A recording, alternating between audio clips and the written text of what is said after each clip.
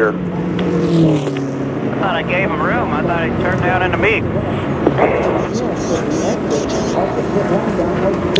Back at California Speedway, heavy contact here brings out caution for the fifth time, and uh, heavy, heavy damage to the Great Clips Toyota for Jason Leffler. In a pit Unfortunately, row, guys. he has the window net down. Got the ambulance coming to you, Jay. And here's Yeah, Juan Pablo the car Montoya as he tries to get out of his car. That one's hurt pretty bad. These two guys were racing hard and got together, looks like. Yeah, we heard we heard uh, Jason Leffler say, "I thought I gave enough room earlier," and, uh, and and the crew guys come back and say, "I thought you did too." But we're gonna have to wait for the replay because, folks, you, you're seeing what we see. Okay, here we got it coming right now. Let's take a look at it because big crash. Okay, That's Kenny Wallace, the 25 car, in the middle between these two cars, 38 and 42. Oh, hard. That's a hard lick right there. Saw the whole car come off the ground, back wheels. So contact from behind by the 25 car, and the 38 just abruptly spins right across the racetrack in front of Juan Pablo Montoya. Okay, let's watch and listen.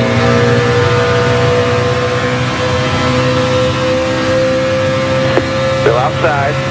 Still there. Still there.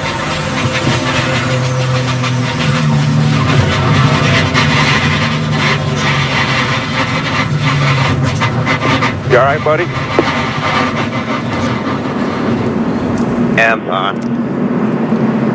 Yeah, it looks like Jason Leffler thought he was clear, came up, just just not quite clear. Kenny Wallace, and boy, that's a hard impact. man, I tell you, when you get turned in a wall like that, that's unreal because he just didn't clear Kenny. He thought he had it cleared, and you know what?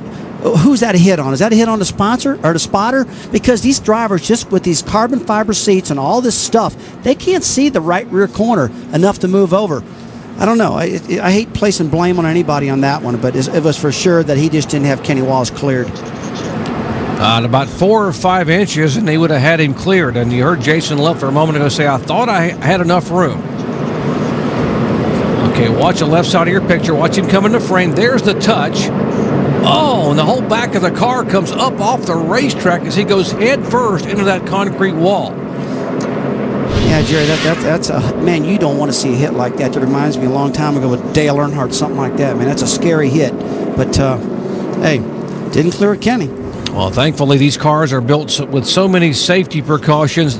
What's left of the front of that Toyota will be picked up, and the Great Clips car has a sudden end to the night here at California Speedway. And one of the most violent impacts we have seen in quite a while happened a few laps ago. Now, watch the 38 car Jason Leffler just gets nudged by the 25. Boom! Right into the wall, head on. The back of the car comes up in the air, and poor Juan Pablo Montoya had nowhere to go. Jamie Little? That's right, and both drivers have been released. Jason Leffler took the brunt of that. Jason, what happened?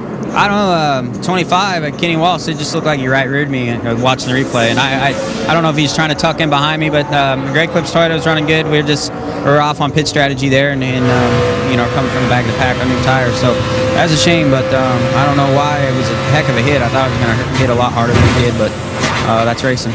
Local boy, a lot of family watching, including his wife that's pregnant with his first child on the way watching on. Good news is he's okay. Now, Juan Pablo Montoya, second week in a row, a DNF for you, Juan. What happened? Uh, he just got spun and I was in the wrong place at the wrong time. You know, it's a shame, you know. Whoever at Texaco Havoline Dodge did an amazing job. You know, the car was good. But, you know, that's one of the races. You know, we were making a little bit of ground. Reagan was weaving when we were trying to decide, and then I went tried to get close to him. When he stopped, I moved faster, tried to tell him, hey, stop, you, you're about to wreck me, and he went again and hit me. So there's a little bit of, you know, damage in the car there. They came in, we fixed it, and the car was running pretty good. Steep learning curve. Juan Pablo Montoya continues to learn, guys. Let's go green. All right,